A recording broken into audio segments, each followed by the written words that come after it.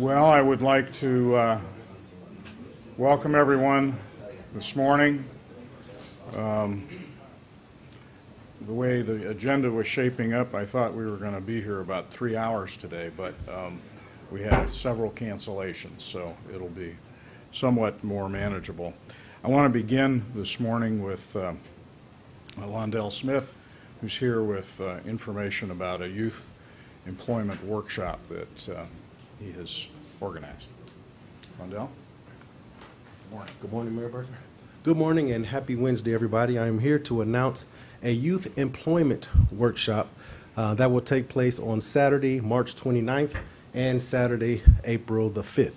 Now, this is a two-part workshop, and those that are participating must attend both sessions. Now, participants are eligible to uh, attend if they are between the ages of 15 and 21. Okay, they have to be between the ages of 15 and 21. The time will be from 10 a.m. to 2 p.m., and the, the workshops will take place at the Bradfield Community Center. All right, now, um, participation in this workshop will not guarantee you a job. I have to make sure that we say that. However, if you successfully complete it, you will be guaranteed an interview.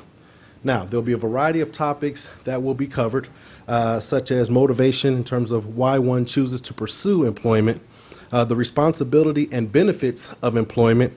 Um, we'll touch on the attitude uh, regarding individual ownership and personal accountability. Okay, uh, personal excellence regarding attendance, appearance, hygiene, performance, time management, stress management, goal setting, decision making, problem solving, financial literacy, and also uh, networking. We will also introduce the participants to the importance of customer service, and then um, we will help them with the job search process. So, resume creation, uh, if they need help filling out an application, we will also give them leads. And um, based upon some of the, the, the organizations that we know um, that are hiring currently. Um, we will also expose them to different resources that are available to help encourage employee success. Now, as a bonus, on the second day of the workshop, we will be in, inviting parents um, to attend uh, the, the latter portion of that day with the participant, as we will have potential employers that will be participating in a panel discussion. They will be talking about the things that they look for in terms of a new employee, um, things that uh, will help these individuals um, have a successful employee career. So I think it's very beneficial. Um, to register, um, this workshop is only available to the first 50 individuals that register. Uh, registration is going on now at the Bradfield Center, so if you are number 51, we love you, but you'll have to wait till the next one. All right? There is a cost involved, okay? We believe that um, those that are participating must make an investment into this um, uh, um, very important workshop. The investment is $25. However, upon the successful completion of 90 days of employment, you will receive $15 of that back. Okay? So, uh, again, a youth employment workshop scheduled for Saturday, March 29th and Saturday, April the 5th at the Bradfield Community Center. If you have any questions, you can give me a call. I'm at 419 236 8947. Again, 419 236 8947. Or you can stop over to Bradfield and uh, complete the registration process, and then we'll get going from there. Okay? Thank you for your time. Thanks, Thank you. Good luck with the project. Appreciate it. Um, This morning, we have representatives of the Lima City Schools and uh, the United Way here to, um, and I'm not sure who's taking the lead to, uh, to speak um, uh, about a readathon that's being launched. Tommy? Dave, appreciate it. Good to have you here. Thank you. My name's Tom Thompson. I'm the uh, Community Services Liaison with the United Way. And uh, Phil Hain was going to do this today, and when I got to work, they said, go to the mayor's news conference and tell them about readathon. So I'm here to tell you about the readathon. Thank you all. Now, what, uh, what, what I, what I want to tell you about, uh, the, the readathon program at this point is looking for sponsors. Uh, And it's, the sponsorships are designed to underwrite the cost of kindergarten camp. Kindergarten camp is a United Way, LACA, public school endeavor that, that takes uh, little kids pre-kindergarten and gets them ready for kindergarten. It's a highly acclaimed program. It's uh, very successful. This, I believe, is the sixth year of it. And so we needed funds. We need a sponsor or several sponsors to make kindergarten camp happen. Nothing just happens, somebody makes it happen. And in this case, uh, $20,000 worth of sponsors coming, uh, 10 at a time, one at a time, however you can do it. Uh, Come and be a sponsor if you have that corporate wherewithal. And there is a community engagement program with it. This is where the readathon part comes in. Readathon is a program that runs from May 19th to the 30th, and it will be at Freedom Elementary, and that will take, those sponsors can send their employees in to be a part of an engagement with the school system and with the, uh, with the kids within that school system to do uh, continuous reading, uh, reading has several components to it. You can entertain children with it, you can inform children with it. Uh, It's supposed to be a good experience for both the children and the people who are in there under the sponsorships. Uh, So what else do you need to know about it? I guess uh, each day, each day they have a schedule, uh, a different company would be the sponsors uh, providing the readers. 100% of the proceeds will be used to underwrite kindergarten camp. And this is, this is Chandra. Nuveman. Chandra. Hi, I'm the principal at Freedom Elementary, and we are very honored to partnership with the United Way to do this readathon. Um, It is a great opportunity for our students because we love having the community members come into our school and to read with our little kiddos. It gives great role models for our kids to look up to. And as he said, that the proceeds do go to the kindergarten camp, which again, in return, benefits our Lima City School kids because the kindergarten camp really helps get our students ready for kindergarten. So it's a great opportunity for us as well. So we're very excited about this program. How many children participate in the kindergarten? Uh, Oh, in the kindergarten camp, Mike, what's that number? Last year, we had sixty-eight, I believe it was, Yeah. total children. And it's, it's one of those things, Dave, that, that really should, should grow. I mean, over the period of time, uh, we really ought to be looking at public funding to make that component because it's so successful. It deserves to be a permanent part. But we got some work to do. Understand. Well, good luck with the promotion. I have brochures that will, that will cover uh, some of that. Thank you. I'll leave one there. Thank you.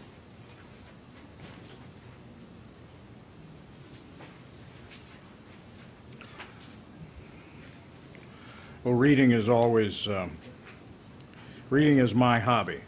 It's really the only thing I do outside of work is read.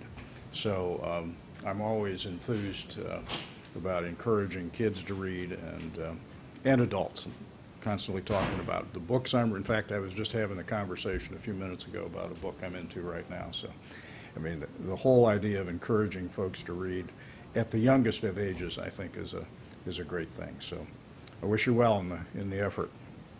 Um, Also this morning, uh, another um, community collaboration that's um, underway um, is the um, Energy Savers Program, which uh, uh, the city has been uh, pleased to um, participate in, and we wanted this morning to showcase particular opportunity that uh, has been underway with AEP and one of their commercial customers, uh, Chief Supermarkets. So we have representatives of both organizations here, and I'd like you to come up and, and talk to us about the, the overall program and um, the invitation that's there. This is really a showcase of Chief uh, and what they've accomplished and, and are doing, but it's also, I think, an invitation to others uh, to similarly uh, take advantage of the incentives that are being provided. Come on up here.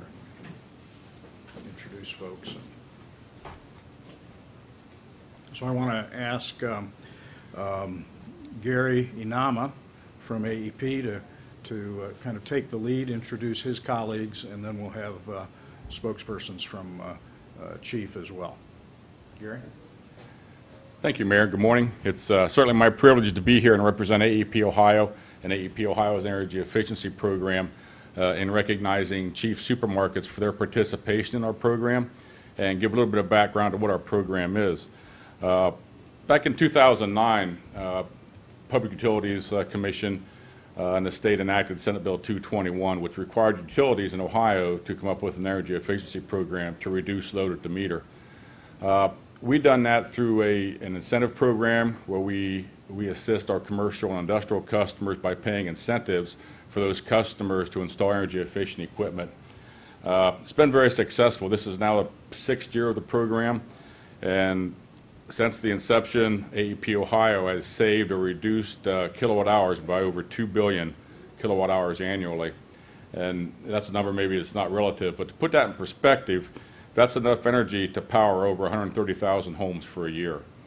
Uh, It, it reduces a tremendous amount of CO2 emissions from our power plants, and it's, uh, it- it's a, it's a very win situation for our customers who save on energy consumption uh, every year. So uh, with that, again, Chiefs has uh, participated in the program along with uh, uh, several other customers, and we really want to recognize them for their efforts, and they're going to save year after year. Uh, Our program is available to all C&I customers in Ohio that's served by AEP Retail, uh, and it really is a win-win-win situation for everybody. Like I say, Ohio, AEP Ohio wins by uh, seeing reduction in energy consumption, which, by the way, some may ask, you know, when I started the company years ago, we did everything we could to get people to use more power, and now we're actually paying customers to use less. It's really a, a, a, an issue of economics. Uh, in today's world, the, the capital investment for new generation is very, very expensive. Regulations are very tight. Uh, it's, it's much more effective and cost-effective for our customers and ratepayers to have an energy, to have the utility have an energy efficiency program. We pay customers to use less and to use, use more efficient equipment. So instead of spending X amount of dollars to build new generation, we probably spend a tenth of that on energy efficiency. So we're trying to delay the, the capital investment of, of new generation. And it's also a win for our customers, obviously, because the measures they install, uh, they see a year after year savings on those measures. So the life of the measure pays for itself and it continues to save money. And it's also a win for the state of Ohio, because Senate Bill 221, the Energy Efficiency Program, is a jobs bill. Uh, Contractors like All Temp Refrigeration, who did this, this uh, project for Chiefs, uh, and other contractors seen a real uptick in their work. The manufacturers of, manufacturers of lighting pro, of, uh, lighting products, more efficient products have seen an uptick. So it's a win for the state of Ohio also. So with that, I'm going to turn it over to Terry Holman, who is our customer services representative, to make the actual uh, check presentation to Chiefs. And again, on behalf of AEP Ohio, I'd like to thank Chiefs uh, for their participation. Terry? Thanks, Gary. Uh, To put this project in perspective, just what Chief did, um, they, the, the, with the energy efficient LED uh, uh, lights that they put in, they alone have uh, saved 411,000 kilowatt hours. And that uh, is equivalent to uh, taking the CO2 emissions for 60 cars. Uh, And it, or the energy use uh, for one year for 28 or 28.5 homes a year. Um, And these benefits will continue as long as the, the measures uh, stay intact, or they, they continue to work with them. Uh, We appreciate the efforts and the willingness of uh, Chief to, to uh, work with AEP. And I'd like to introduce Mark Diller. He's the facility manager, RJ and Nikki from the stores, and Annette Hoffel. uh, She's the marketing director. And if uh, you guys could come, we'll get you, get a picture.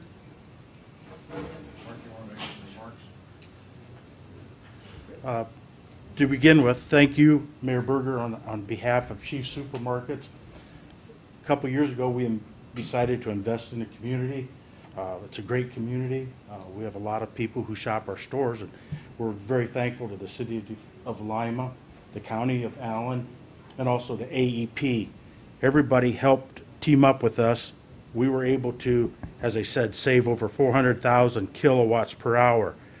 The great part of that is not only is it this year, but it's next year, the year after. It's ongoing for us forever. And it makes a big difference for us. Uh, The reimbursement or the uh, incentive check is just an add-on to what they've already helped us with. Again, we- we're very happy with what AEP has done. They're a great company to work with. They're very supportive of us and have always had somebody there whenever we've needed them to help us out. So, uh, again, thank you very much for the city of Lima. On behalf of AEP, we'd like to present the Chief Supermarket uh, a check in the amount of twenty-nine thousand, seven hundred sixty-seven dollars and forty-eight cents. Very nice.